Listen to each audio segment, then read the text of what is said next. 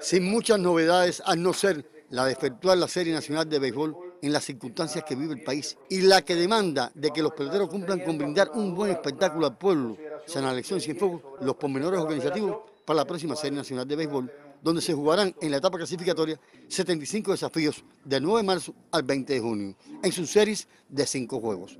La semifinal del 4 al 13 de julio y la final del 16 al 25 de ese mes. En la reunión que participaron los máximos directivos del béisbol en el país y el territorio, además de funcionarios del partido y del gobierno en Cienfuegos, el presidente de la Federación Cubana de Béisbol fue crítico con los cienfuegueros por la situación en que se encuentra el cuartel general de los elefantes rumbo a la Serie 63. Entonces, hoy en día tenemos un gran problema con el campo donde jugamos. La provincia rica, para llamarlo de alguna manera, en esa propia silla que utilizamos y lo vienen a buscar aquí, bueno, el campo está suave, eh, se le echa agua, pero tiene un nivel de arcilla, entonces no, tiene lo que no tienen los otros provincias, un nivel de arcilla muy superior a lo que tiene que tener y la diferencia que existe entonces para poner a nivel todo el terreno es grande, está más levantado el infield que los jardines, con un declive tremendo. Entonces eso es algo que no va a salir para la Serie Nacional. Vamos a tener que jugar pelota así para hablar claro. Vamos a hablar aquí en términos políticos, hablar claro. Nosotros evaluamos 30 indicadores y si no están listos, el estadio no se puede jugar aquí. Pero si yo no puedo jugar aquí, le genero un problema al país tremendo. Lo que no va a asumir Cienfuegos, entonces lo tiene que asumir otra provincia que no lo calculó en su presupuesto para hospedaje y demás. Y aparte, nosotros tampoco podemos privarle al pueblo de pelota aquí. No lo podemos hacer.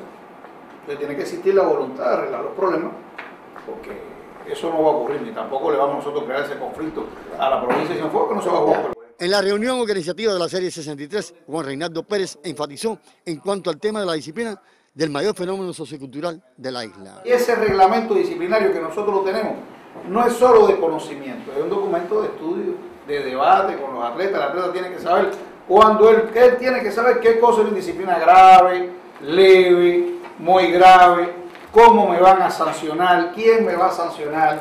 Ahí está el código de ética, cómo es el uso de las redes, de las redes sociales. Si me viene a entrevistar un periodista, ¿qué es lo que primero que tengo que hacer? En fin, tenemos que educar, no es solo jugar béisbol. Y son cosas que es importante que la gente lo tiene que saber. No menos importante resultó el señalamiento del representante del béisbol cubano sobre las competencias de clubes campeones. En tal sentido, precisó algunos aspectos a tener en cuenta. Ustedes saben que hacía 17 años no se jugaba un club de campeones y se logró hacer en Cuba.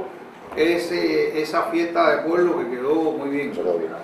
Quedó bien, pero tampoco está calendariado, por lo tanto, y más con tiempo, nos tenemos que preparar porque la serie nacional se va a jugar de marzo a julio, la liga élite de octubre a enero, el campeonato provincial hay que desarrollarlo de septiembre a diciembre para poder tener un campeón y ese es el que nos va a representar el club de campeones que va a ser en enero.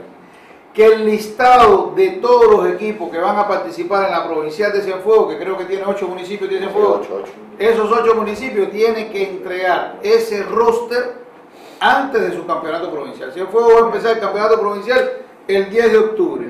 Antes de esa fecha, tiene que estar todos los rosters en la Comisión Nacional que son de 30 y elegibles para la Liga Élite 25, es decir, pueden jugar con 25 y subir y bajar. En los clubes campeones van a jugar los que están en ese roster. Si ustedes en la etapa final la van a jugar con refuerzo, la pueden jugar con refuerzo, pero cuando vayan a los clubes campeones son los que entregaron con el roster inicial.